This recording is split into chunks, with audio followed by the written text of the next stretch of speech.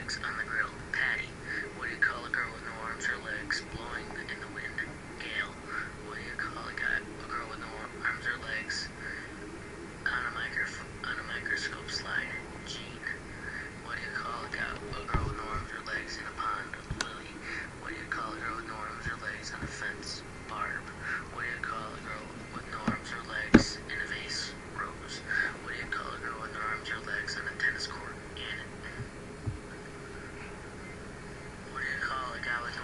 legs on the wall.